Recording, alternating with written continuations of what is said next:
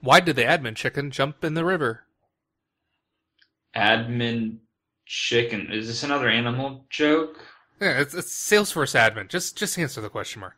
Fine. Why did the admin chicken jump in the river? He wanted to learn about flow.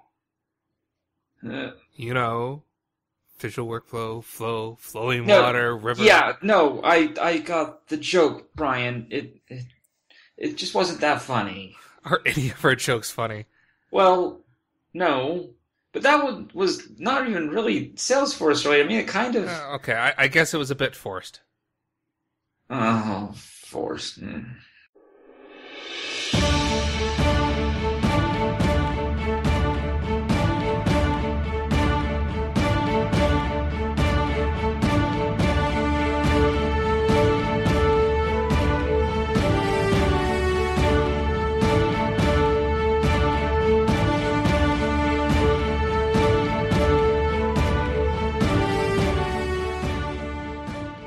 It's good to see you, Mark. Same here. Well, I mean, we often see each other, but it's typically, you know, through a screen.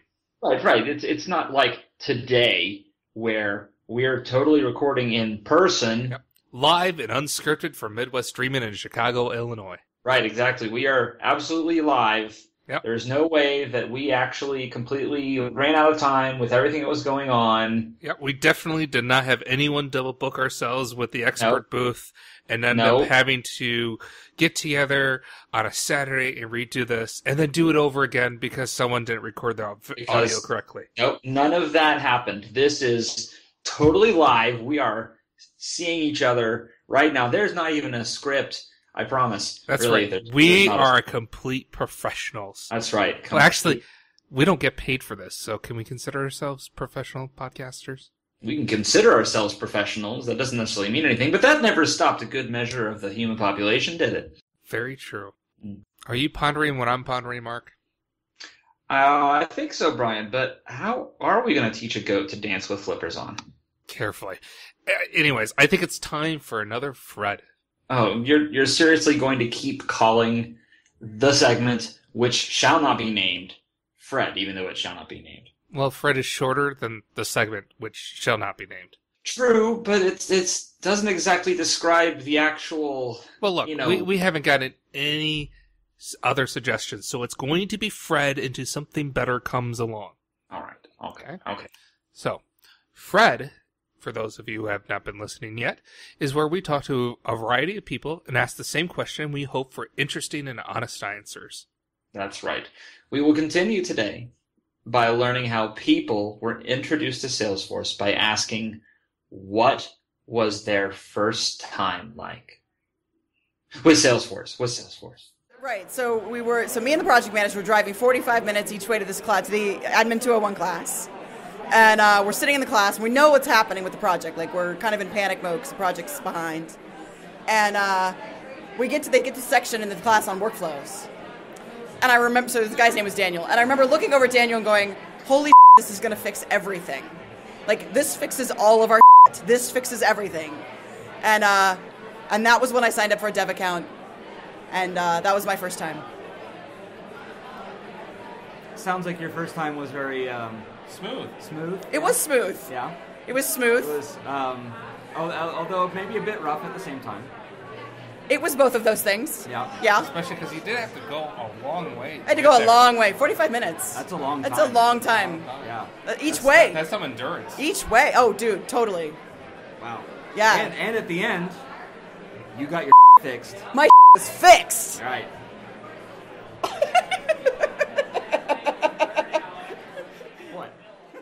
So we're live at Midwest Dreamin' in room 204. And in addition to Mark and myself, we're joined by Nick. Howdy, how y'all doing today? So, Nick, I, how do you pronounce your last name? Lindbergh. Lindberg. Yep. As in the baby. As in the baby, yes. I thought it was originally a pilot. Was it really a pilot? The well, not the baby The was show pilot. didn't take off? What? No. The Lindbergh was the pilot who flew across. Oh, that The type of ocean. pilot. I thought And- you, you were talking like a television show pilot. For a second, I thought you were misunderstanding. I thought I was talking about a Salesforce pilot. Like it. We Like- really should like- have scripts. I, we, we should. So Nick was nice enough to join us today to talk about I forget. What are you talking about today, Nick? Well, we're just shooting the breeze mostly, but we're going to talk about nonprofits. Today. Segment title: Shooting the breeze. Shooting the breeze. Breeze shooting. Breeze shooting. Something like that. Yeah. We're really focused. I like this. This is fun. yeah. So where do you work? I work for a small consulting shop out of the Twin Cities called Redpath Consulting Group. Okay. Uh, kind of prior to that, essentially how I got my Salesforce start was I worked for a nonprofit, and we all looked around the room going, "We need a database, and we need um, something to track all of our donors and programs." And we all went looked around and went, "Okay, well, who's going to implement this?" And and so I somehow got the short end of that stick, or maybe the better end of the stick. I don't know yet. Um, and we said, okay, I'm going to implement Salesforce for us. And so spent a couple years building out Salesforce for us, getting all of our donations in there, all of our programs in there, and kind of started getting, drinking that Salesforce Kool-Aid, and kind of the rest is history from there. So your office is located in Minneapolis. Mm-hmm. Are all the hallways colored red? You know, they aren't colored red, but we do have a red carpet that goes down the middle of our office. So we do have that going there's for a red path. There Yes. is a red path. Instead of singing Yellow Brick Road, you sing about the red path. You know, I've jokingly said that we should, uh, but we hasn't hasn't cut out. Well, I think cut we should start that here. No. Do- Can we do that? No, we Follow, should. follow, oh follow, my god. follow, follow the reddish path. Okay, stop, stop. No, stop. I'm from Kansas. You can't sing that song. It's an offense. Why is it It- offense? It's it's like a civil offense in some towns to has sing nothing to do anything with- from Wizard of Oz. It's okay. nothing to do with Kansas. Uh huh. Dorothy was from Minnesota. Was she? What? How did? How? You are so lost. Okay, so anyways, why is working with nonprofits different than working with a for-profit company? You know, in certain cases it, it is different, but in other cases it isn't different. So why what what parts of it is different is that you're, sometimes doing different tools, and so the language is different. So instead of sales, you're talking about donations, and you know, you're but at the same time you're talking about marketing. And maybe instead of saying marketing, you're saying outreach. So the terms are different, but kind of the same concepts and same thought processes processes are the same. And so we're all still trying to sell something. We're trying to sell us and our mission, and we're just maybe having different terms or having different things from there. You know, where nonprofits also are slightly different are that actually I kind of look at nonprofits. They kind of are doing things in a slightly different vein. So one of the big reports I always run is last year but not this year. So what donor hasn't given this year yet but donated last year? And actually, for some of my for-profit clients I work with, I steal some of the stuff I worked on the for-profit side or on the nonprofit side and bring it over to the for-profit side. And so we have kind of those last year counts, but not this year, and kind of the stuff we're maybe learning on processes or what you have on the for-profit side, bringing it over. So that's where they're they're different, but there's so much cross-pollination that can happen between them. So so you have worked both profit and nonprofit. Mm-hmm. So obviously there are, are differences, but there's also a difference in terms of where the money comes from, in terms of the mind behind it, right? Mm-hmm. You're working with a company in a profit situation. A company uh, group speaking has a different psychology than an individual does. Mm-hmm. Yes. Um, especially pertaining pertaining to donations. So how does your work as a Salesforce admin reflect the different psychology? What do you do that is different? How do you set up things that are different that reflects the way of working with individuals? Yeah, so if I kind of like you know, the the other very interesting thing with the nonprofit is what my good friend Irene I will always say is that there's a double bottom line in, uh, on the nonprofit side. A What double bottom a line. double bottom Not just line. a bottom line. A double, yeah, dou- not just whoa. one, but two. And what I mean by that is that on the for-profit side, you know, really about okay, what's the bottom line? You know, what's our profit at the end of the day? You know, did we make money? Did we lose money? I mean, that. I mean, yeah, there's there's some certain things where we're trying to, you know, maybe better uh, community stewards and things like that. But that's really kind of what things are. On the for, on the nonprofit side, there's two bottom lines. So you have that surplus or that that profit. You still need to keep the doors open. So you still need to have money coming in and, and have more money coming in than money going out.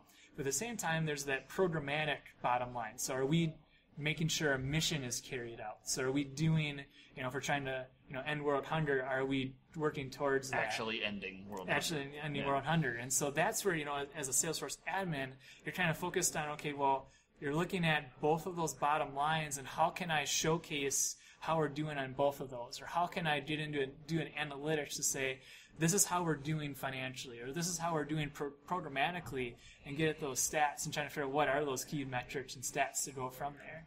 Is it is it typical that consultant companies, from your experience talking to other companies, that they do both profit and nonprofit? Because I I, I know there are companies that specialize just in nonprofit. Mm-hmm. Clearly, we know those exist, but I haven't actually heard explicitly heard of companies that do both. Is this My a company Yeah. does both. You do both? Yeah, we do both. Okay.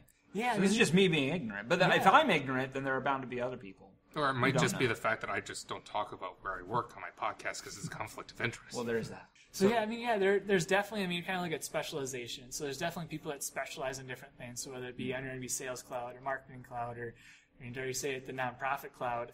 Um, actually, that we could. Do you think we can make that happen? The nonprofit, Nonprofit cloud? Yeah, Talk think- to Mark. Yeah, what's that? Yeah. CEO at Salesforce.com. Make it happen. I'll get on it right after this. And so, um, you know, I kind of look at there's there's definitely people that specialize in those different clouds, and then there's kind of these shops that maybe specialize in maybe not necessarily a cloud, but they're more specialized in more broader terms, and maybe they're strategic or maybe they're process oriented or whatever those types of things are. And that's where it doesn't matter who you're working with or what they're trying to do, you know, whether it be widgets or donors, there's still things that could all apply from there. So yeah, I mean, it kind of depends upon the shop, I think. I Donor suppose. widgets? Donor widgets. Why not? Sounds like donuts. I'm hungry. I had Dunkin' Donuts this morning. I, you know, I was really upset because I was going to bring right by my Dunkin' hotel. Donuts to the group here because there was a Dunkin' Donuts supposedly at the Navy Pier, and I go down. It Turns out, no, they sell Dunkin' Donut coffee, and it was in like a convenience shop, and of course, it was closed. It was. It's not very convenient, it, then, was is it? it wasn't very convenient. No. It was also the furthest away that you could possibly get from the beginning of Navy Pier. so Really not convenient. It's like an inconvenient convenience store that was closed. This is Sounds how like- we, we, sounds we like stay it's on just a- topic really Sounds well. like it's just a store that actually isn't even a store. if if there's a store that never opens, Radical does it business exist? plan. I guess if I have a box that I sometimes have clothes in that I maybe sell, I've had one sold. That could be a store, huh? That All could be right, getting, getting back on track again. So, uh, how long you been doing the consultant business? I've been doing uh, consulting now for a year and a half. Year and a half. Did you do other work before that? So Or, or is this brand new? Like this consulting world is, is somewhat brand new. Um, you know, when I worked with uh, the organization I worked with before, Students Today, Leaders Forever, STLF, they're awesome, they're cool. Um, you know, we'll shout out to them here if that's allowed. We'll do it. Yeah, We'll sure. edit it out We'll later. edit it out. Okay. conflict of interest. So um, when I worked there, um, somehow we just were. Our, I mean, our main goal was really be innovative, and and that was you know I with these college and high school students all the time, and there's just there's something about that age where there's always something they're, they're thinking that's super cool, and so we try to translate that over to what we were doing um, in our on our work, and so we always were trying to be innovative, and as a result, some of the things that we were building in Salesforce, while they were very simplistic and, and not earth shattering, they were maybe were somewhat innovative or just um, MacGyver-esque, if you will. And so we, um, through the nonprofit user group that was in town, we started to kind of talk through other people and ended up uh, getting to meet with people. It seemed like every month I was meeting with someone different about either showing what we were doing or getting to know what they were doing and trying to help them out. And so I almost had a flavor of consulting by accident where um, we got to meet with these different people, learn what they're doing, and then help them out a little That's bit. often what happens at user groups. A lot. I mean, that's- Exactly. I Mhm. ended up being one of those people who often helps people at user groups. That's just Who you happens. are. Yeah. You're such a special guy, Mark. There you go. He's smiling, just in case you can't see, because this is an audio format only. So, so do you find that you enjoy consultant work more than you did working for just a single organization? You know, it. There's certain things I, I really enjoy, or I've enjoyed on both sides of it. It's a very very diplomatic answer, um, but you know what what I like more on the consultant side is the variety of it. And so you know, if you have one Salesforce instance, you get to really you get to know that.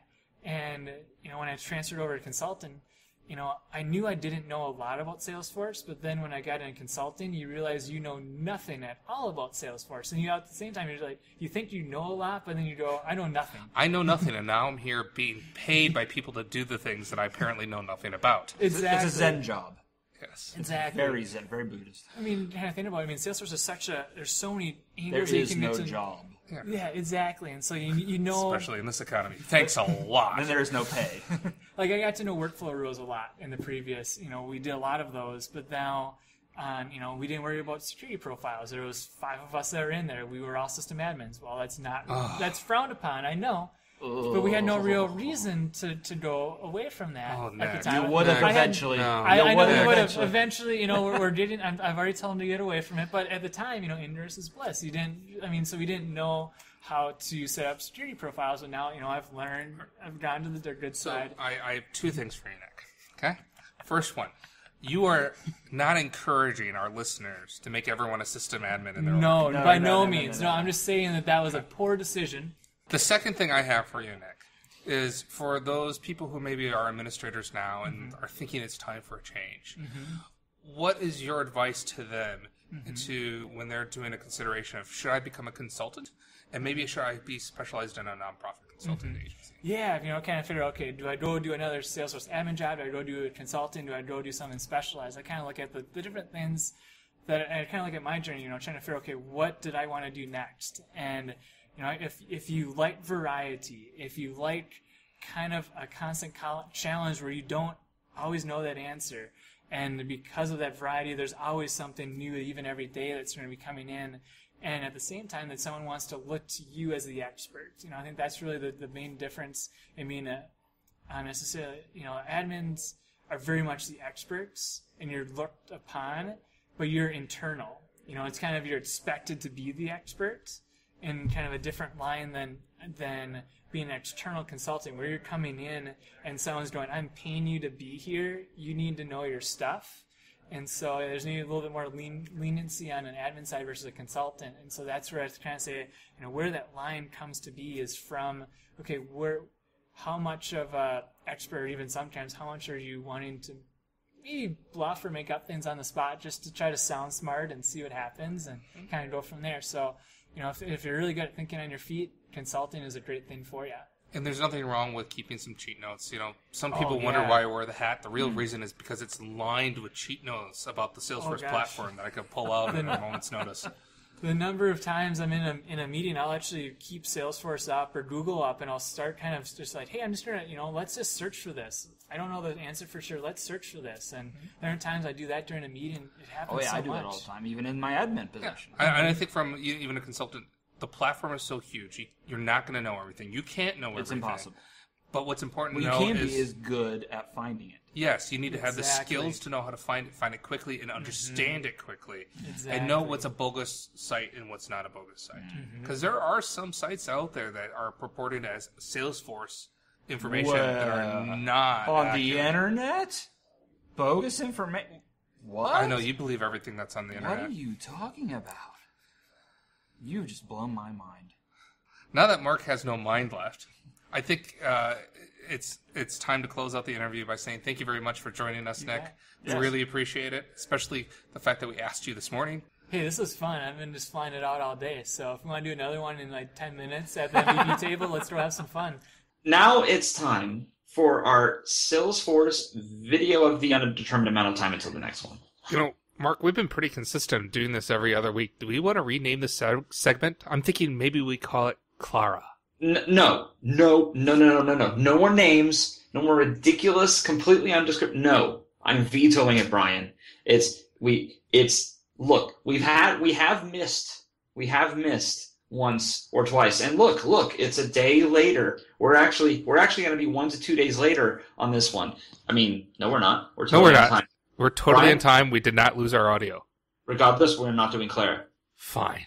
Anyways, this video was highlighted during the opening keynote of the Midwest Dreamin' by Dan Darcy. That's right. It is a video that was created by Gary Palmentier, MVP, and uh, of Red Argyle, and what he made is a Lego version of Dreamforce. It's the original Lego movie. No, it isn't. Sure it is. You got a simple yet handsome hero, non-stop action, and I'm pretty sure Will Ferrell's in it. I don't think we saw the same video. Gary created this video to show how he was going to get Dreamforce ready back in 2000. I mean, he get himself ready for Dreamforce, not getting Dreamforce itself ready. That would have been a lot more than one man could do. Be and pretty impressive if you did it. Oh, It's a yeah. great video.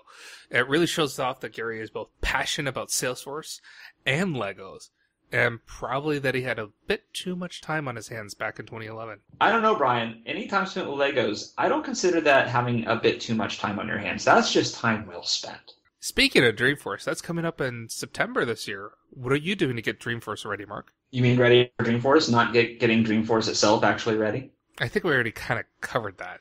Let's see. Uh, well, there is the hot, the hands-on training that you and I are putting on. Oh, that's right. I, I believe we're going to be doing something about advanced flows. That's sure to be loopy. Yes, actually, we will be covering loops and fast elements and things like that. How to get large sets of data. Uh, one of the things that Flow is actually most, most useful for these days. So if you want to come, learn a whole bunch about advanced flows, see me in my little pointy wizard hat, and Mark in his Yoda ears, please come to our hot. I don't have Yoda ears, Brian. I don't have them yet. You should totally have. You know the. You know what? You should get Yoda ears for Dreamforce.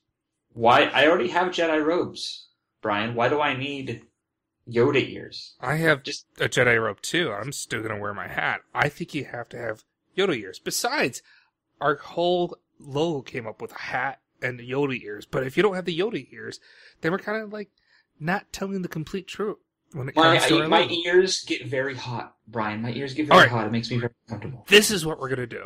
We're Okay. gonna create a new group on the Success community. and Yeah. we're going to post a poll there. So if you think that Mark Ross should acquire and wear Okay. Salesforce Yoda ears at Dreamforce next year, vote for that. Otherwise, tell us that you really don't want to see Mark wearing that type of paraphernalia. Wow. Uh, I just heard the words mark and paraphernalia in the same sentence. I don't hear that very often. On that same note, since we are going to be there, we're going to be speaking not only about the hot, we're actually, I think we might be participating in, in another uh, session as well. Yeah. Safe Harbor. We will have at some point an unofficial or official, however you prefer to look at it, meeting of the Flonatics, the Yes. annual meeting that we have. And uh, I think, I think we should have it at one of the local watering holes. No, no, no, no. We should have it in the oh. admin zone. Okay? There's going to be plenty of space for us. It is queued to administrators and all about Flonatics. Besides, we should really come out and show the numbers and just show the fact that there are so many of us Flonatics that we should be paid attention to. I suppose, but hashtag why SFDC admins drink, Brian. It's it's a perfect chance Yeah, to. it's it's why do Salesforce admins drink, not why do Flonatics drink. The mm, Salesforce and the admin zone can be just as loud and just as packed as any bar. In fact, some bars probably less so. You know, I've been to the bars down and around Howard Street. It's always packed. It's always cramped. I'm 100% positive that we have so many numbers that we're going to need the space that Moscone West provides. That's only if you go to the good bars, Brian. If you go to one of the dive bars, there's plenty of space and nobody's there. Are you saying our Flonatic num- members are not good enough for the good bars? I'm just saying there's space. Fine. At, at, at Fine. The, the places. Let's do this democratically ish. Mm. We'll post a Ish. second poll in our group. A second poll. A second poll? A second poll. Yes, because the first one's going to be whether or not you wear ears. The second poll Yes, no, I is know, going to. Be, I know that. Well, you sound like you were confused, so I'm trying to clarify it for you. I'm I'm just I'm I'm flabbergasted. We have the audacity to do two polls in one day, Brian. Two polls. I think our listeners can handle it. Yeah. Oh, The second poll will be where should we hold our meeting of the Flonatics? Since we're not doing a session this year on the flow code, we're going to have uh, informal meeting of the Flonatics. Should it be at a mysterious, mythical, non-packed dive bar that Mark believes exists near Howard Street? Or should we hold it in the admin zone and if there's enough of us, we take over the dev zone too? I I will point this out in the interest of fairness and and discourse across the board that uh, we may also be recording an episode in the admin zone at some point. Again, safe harbor. Wouldn't it be interesting if we managed to coincide the Flonatic meeting with her podcast episode? That's just madness. Nobody could handle that level of insanity, Brian. That's no. I don't.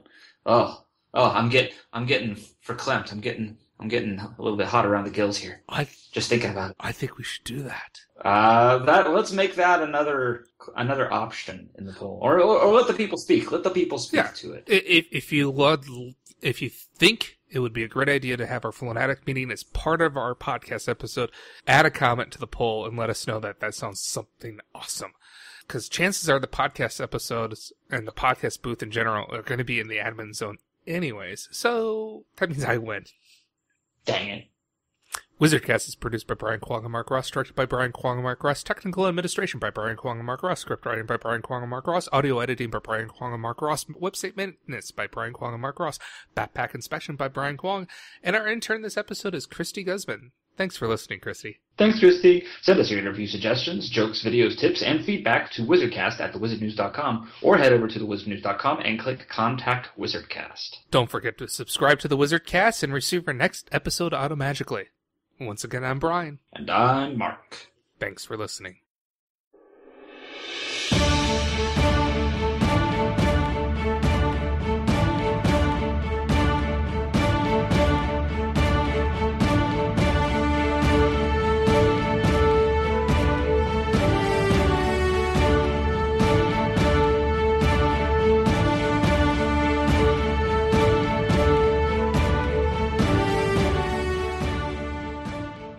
Pondering what I'm pondering, Mark? I don't know, Brian. Maybe I should look up something to follow up that sentence with. The choices and opinions expressed here by Nick do not reflect the uh, button click admin. Not button click. We're not button click the hell- Where did. I get that from? I need coffee. We can be, I suppose. No, we can't. Yes. Hi, I'm Mike Gerholdt. and joining me is Jillian. Hi. Oh. We'll we'll save for that. Sorry, Mike. Sorry, sorry, sorry, Julie. Uh, button click No, admin. I'm one who's sorry. Button, button click admin is a trademark, and we should not be using it. No, we'll probably have to edit all that out. No, no, Mike would be funny with it. We'll Okay. put it in the outtakes at the end. Okay.